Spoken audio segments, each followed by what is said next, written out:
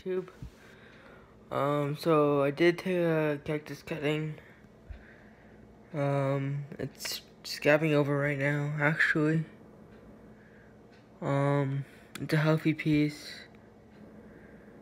Um, so yeah, I'm gonna skip over, and this weekend I'm gonna go get rooting hormone and plant it into a pot, and then next year I'll have another cactus, so yeah.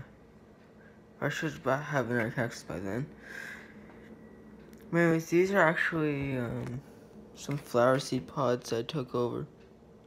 They're drying out too. anyways, just letting scab over and root hormone. Now they can, I heard that they can root themselves by themselves, but I'm not going to take that chance. And I'm actually going to go get rooting hormone.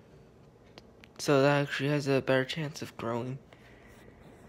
Anyways, that's basically what I did.